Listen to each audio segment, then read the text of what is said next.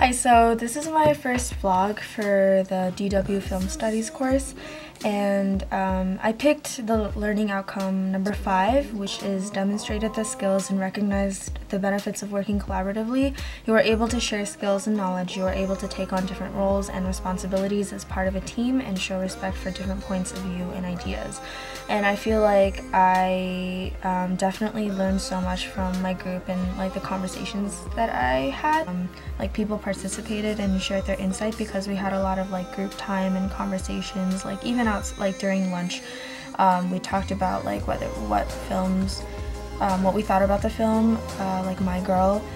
Um, so I think it's important that like for me initially I kind of I realized that I overlooked a lot of like the technical aspects of like um, the choices of the director um, that influence the way that the story or the film is being told. And for me, I'm more used to analyzing themes and like thematic aspects, like in my English class. So um, I definitely learned a lot, um, and I missed a lot of things, like a lot of details um, that I learned from my classmates. So, for example, in um, My Girl, I the scenes that I was that I first noticed was, for example, the um, the scene where um, Veda is getting makeup put on um, by Shelly, and I think I, I noticed that as like um, a turning point in terms of like her coming of age and like um, the moment where she gets her period and all of these different um, steps into like transitioning to womanhood. And I was like more focused on the plot and um, I kind of forgot to sort of analyze more deeply in terms of like technical aspects. Um, but I did notice like a few things like for example um, I did notice like the different types of shots. So for example, um, like the distance that Veda feels with Shelly and like her dad um, because it's always they're always portrayed in like a long shot and so she feels sort of isolated from them. It's always her like sneaking on them or like looking at them through a window far away and we can literally see the physical and also I guess mental distance between them. For me, I was more impacted by Wes Anderson's Moonrise Kingdom more than My Girl in terms of uh, choices of the director um, because I think My Girl was more typical and everything was predictable.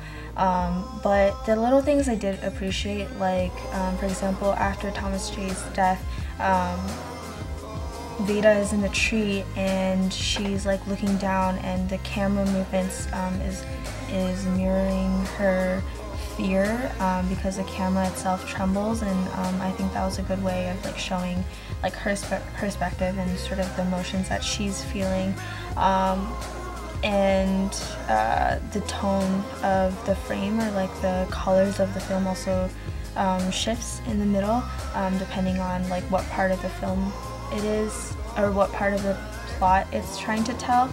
And again, uh, the change in the color in her mood ring when it goes from black, which is like a signal of fear or general like instability. Whereas in the end when it's like blue it shows that she's calm. And I think that's because she embraces what death really is um, and she experiences death in the most like unpredictable ways um, even if she lives in a funeral home. Um, for me I think it was easier to pick those elements in uh, Moonrise Kingdom um, because Wes Anderson is known as an auteur who is basically, it's I think it's a French term um, for someone whose directing style is so unique and um, Wes Anderson is very known for like his really um, bright uh, colors and um, there's like a high degree of like formalism um, when it comes to format, uh, color, line, shape, texture. Um, every shot is like carefully arranged and staged. Um, and one thing that I learned about today is like the rule of thirds. I mostly knew about it in photography, um, just for like the aesthetic appeal. And sort of, I also realized that people purposely um, make the scene or the shot unappealing to kind of evoke an emotion in the audience. So for example, for Moonrise Kingdom, it would be like a sense of like inner chaos. Um, I also noticed that too. Um, after the movie, I felt really dizzy because um, he's constantly using tracking shots, and so every shot is just moving. The the um, frame is just constantly um, moving from one scene to the next, and I feel like there's no pause in the middle. It's just um, ongoing and constantly just like making the reader or the audience um, uncomfortable.